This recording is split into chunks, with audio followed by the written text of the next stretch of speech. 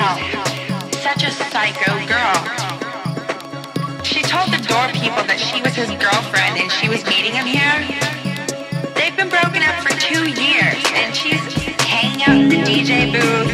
He's just playing and she's he's ignoring her. And she's still trying to get up on him. Doesn't she know he's my man?